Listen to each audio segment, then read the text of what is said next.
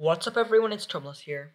In today's video, I'm going to be showing you and I'm going to be telling you about a item that is pretty underrated. So basically, this item is the Wand of Restoration.